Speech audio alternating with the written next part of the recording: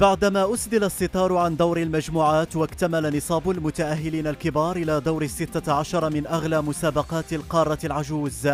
انجلى الضباب واتضحت الرؤية بعد سيناريوهات مثيرة حملت العديد من المفاجآت.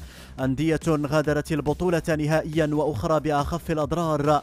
قبلت قسرا بالمشاركة في اليوروبا ليج وكانت بطائق التأهل الستة عشر لمن كان أهلا لها قلبا وقالبا بمجرد أن ضمنت هذه الأندية التأهل إلى أول أدوار خروج المغلوب بدأ التساؤل حول قرعة النار التي ستحمل لا محال معارك ملحمية من العيار الثقيل إن لم تكن دامية بين عمالقة القارة العجوز.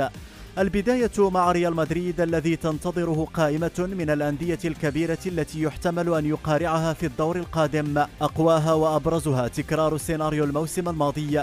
بمواجهة باريس سان جيرمان الفرنسي المدجج بالنجوم والساعي للثأر من غصة الإقصاء المرير العام المنصرم.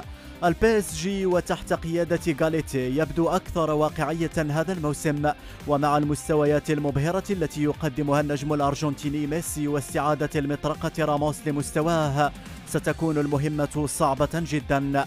الاحتمال الثاني نهائي سابق للأوان بين الميرينغي ريال مدريد حامل اللقب ووصيف النسخة الماضية ليفربول الإنجليزي الريدز بقيادة محمد صلاح ورغم فقدانه التوازن بين الحين والآخر إلا أن عودة مصابيه وصحوته الأوروبية في الأعوام الأخيرة. عوامل ستجعل كتيبة كلوب خصما لا يستهان به. ميلان الإيطالي المتعطش للياليه الملاح في دوري أبطال أوروبا. يسعى لتأكيد العودة إلى الواجهة الأوروبية من جديد. ثم إنتر ميلان الذي يحمل وزر الإسبان بإقصائه لبرشلونة. ستكون مواجهته لريال مدريد إن حدثت سيفا ذو حدين.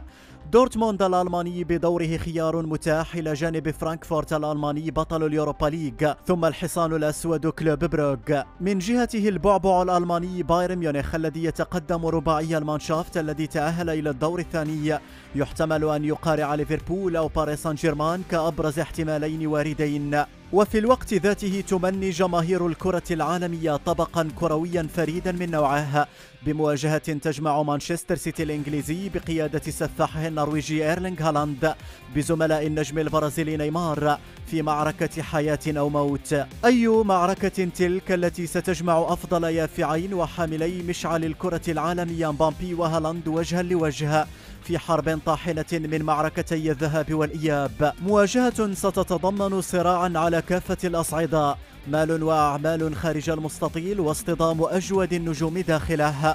بمعياري عدم مواجهة فريقين من نفس البلد وفريقين من نفس المجموعة. ومواجهة المتصدرين للوصفاء. كيف تتوقعون أن تكون معارك الدور القادم بين كبار القارة العجوز؟